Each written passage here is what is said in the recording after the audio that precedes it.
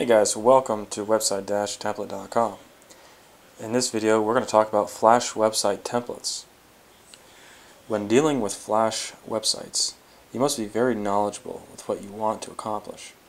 Unless you know what you're doing, setting up a Flash website can actually be a negative more so than a positive. A Flash website may be a possibility if you are creating a website for a client and they need lots of images and videos. This is great if your customer doesn't have the need for the website to be ranked on Google.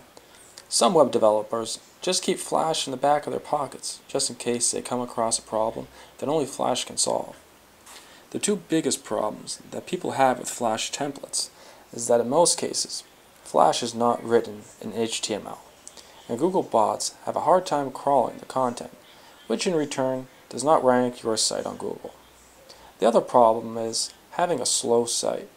When you have a site with lots of images and video, the time it takes for a person to download all that information can be a bit too long, which the viewer in return will just go to another site. Speed is a crucial factor with every website, and it should be at the forefront of your to-do list when creating your website. Never lose sight of your speed, and if your site does become slow, it is a constant trial and error.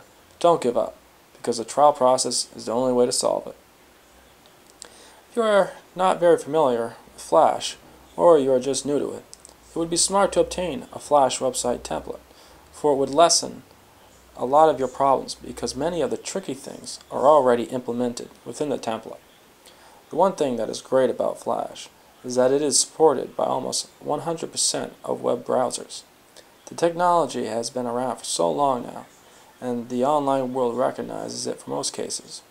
If you are eager or want to learn how to write Flash, there are many resources online and lots of books to choose from to understand it.